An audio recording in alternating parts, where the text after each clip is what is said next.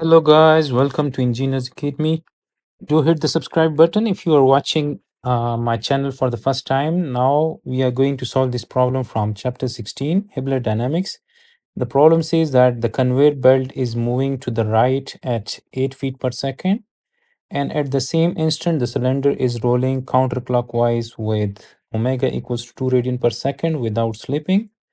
Determine the velocities of the cylinder's center C and point B at this instant. Now we are given that this conveyor is moving with a velocity v of 8 feet per second and this with this and at the same moment the cylinder is rolling with an angular velocity of 2 radian per second in the counterclockwise direction without slipping. So whenever there is no slipping, uh, the velocity of this point which is in contact with the conveyor belt will have the same velocity. So we can say that the velocity of point A will be equal to the velocity of the conveyor, which is equal to 8 feet per second.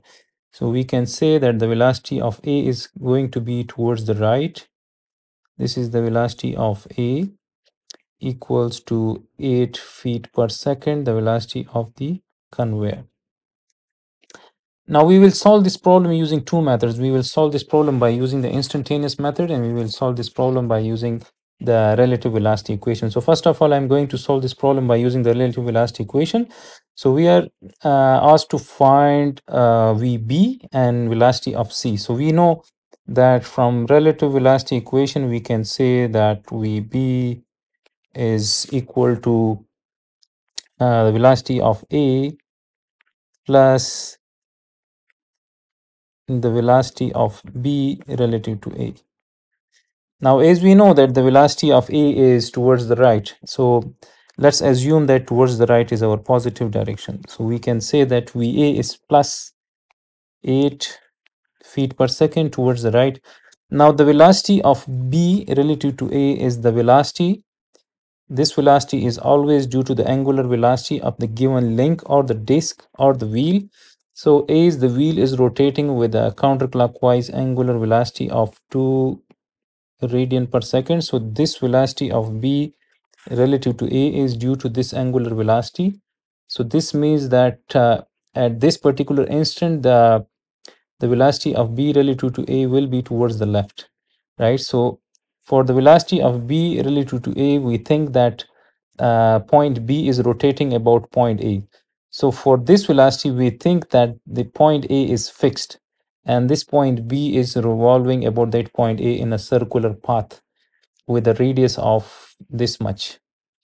So now we can say that the velocity of B relative to A is towards the left since the angular velocity is in the counterclockwise direction. So we can say that this is the velocity of B relative to A and its magnitude will be equal to its magnitude will be equal to this radius times this omega. So this diameter, which is the the the diameter of the disk, is the radius of uh, the path of this point B about point A.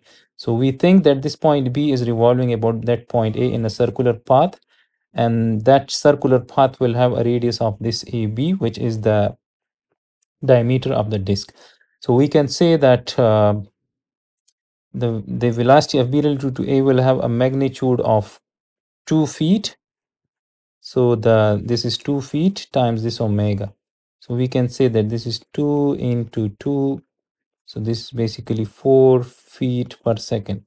And it is towards the left. And since we have assumed that towards the right is the positive, so this is negative. So we'll write minus minus 4 feet. So VB is plus 4 feet per second. So velocity of B the absolute velocity of B is towards the right since we got the positive and it has a magnitude of 4 feet per second.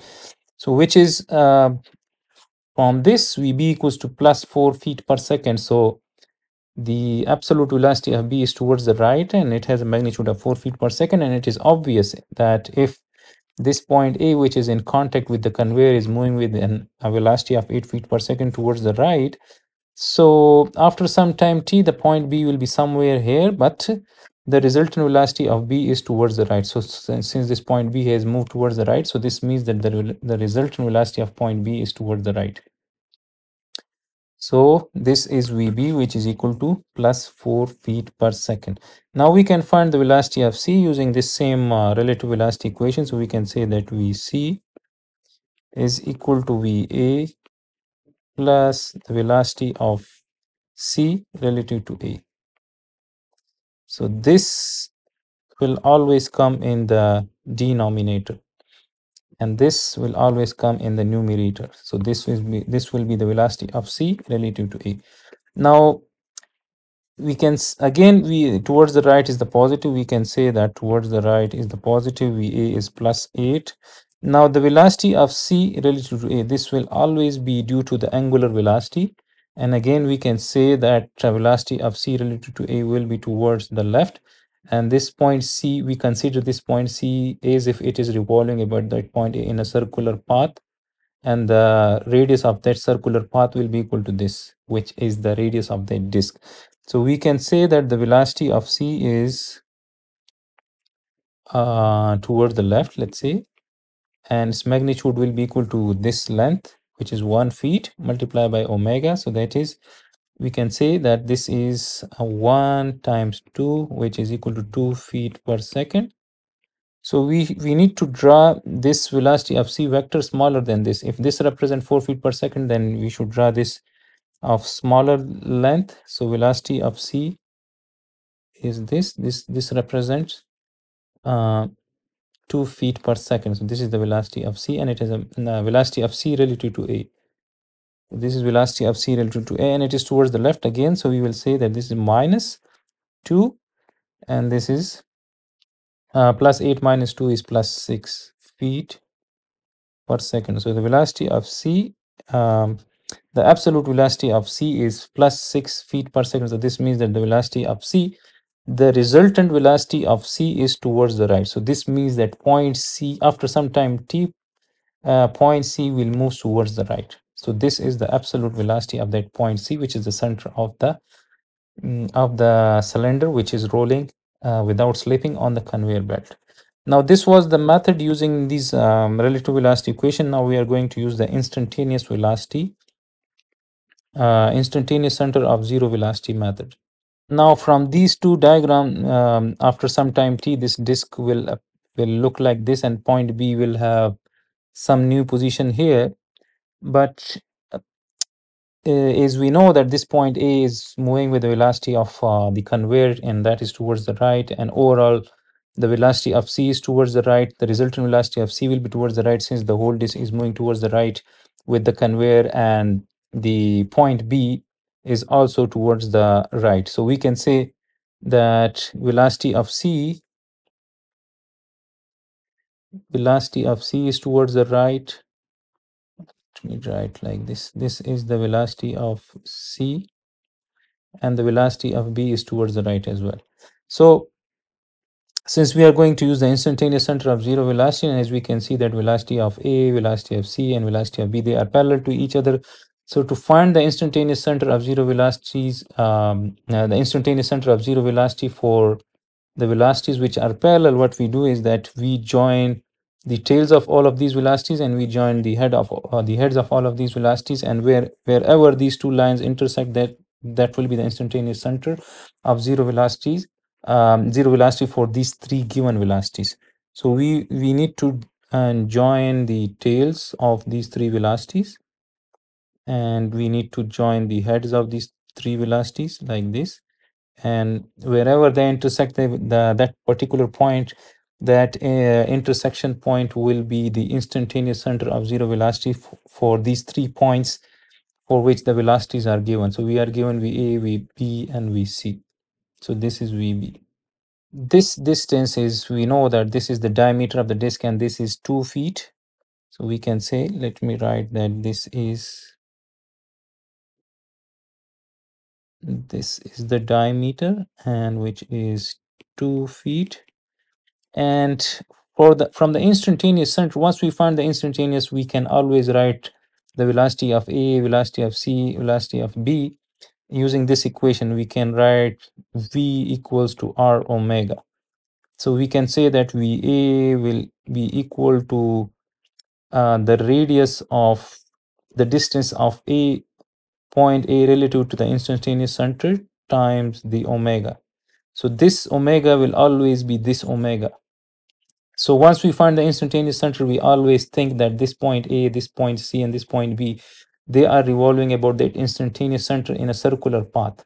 So we think that this point is revolving about the instantaneous center in a circular path, and we think that this point C is revolving about the instantaneous center in a circular path. And similarly, this point B is revolving about that instantaneous center in a circular path due to this angular velocity.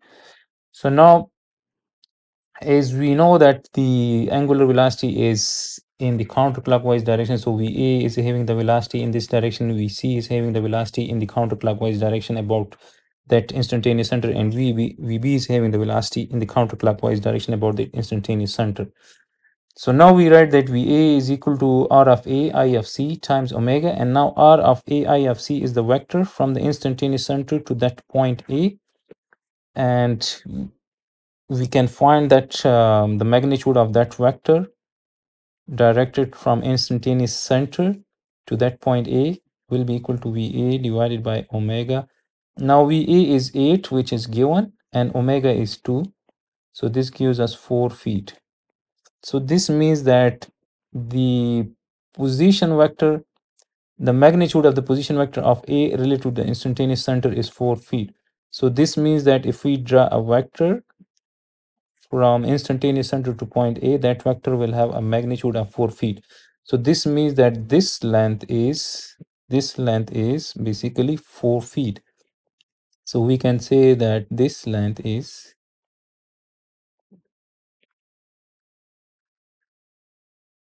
this length is basically 4 feet. Now, as we know that if this is 4 feet, this is 2 feet, then this is 2 feet. Right, so we can say that this distance is 2 feet as well. So this is 2 feet.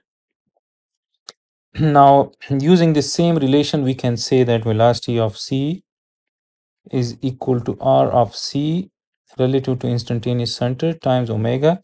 So for this, we think that this point C is revolving about that instantaneous center in a circular path, and that circular path will have a radius of this this much that from here to here. So the position vector of C relative to instantaneous center will be a vector from here to here. So this vector will have length of 2 feet plus 1 feet. So this is 3 feet. So we can say that the velocity of C uh, uh, velocity of C is equal to this is now this is this is 3 feet, right? So if we draw a vector from here to here, then this vector will have a magnitude of 2 feet plus 1 feet, so 3 feet. So we can say that this is 3 into 2. So this gives us velocity of C equals to 6 feet per second. And as we know that this is towards the right. And similarly we can write that v vb so again vb using this same relation we can say that vb is equal to r of b instantaneous center times omega. Now r of b instantaneous center will be a vector from instantaneous center to that point b and that vector will have a magnitude of 2 feet. So now we can say that this will be equal to 2 feet times omega. This gives us vb equals to 4 feet per second. And again this is towards the right. So now as you guys can see we got the same vb which is 4 feet per second and we got the same vc which is 6 feet per second towards the right. So i hope this discussion will help you in your learning of uh, instantaneous center of zero velocity and relative velocity equation let me know uh, in the comments if this helps. Do subscribe Engineers Academy for the solution of such more problems from Hibbeler Dynamics.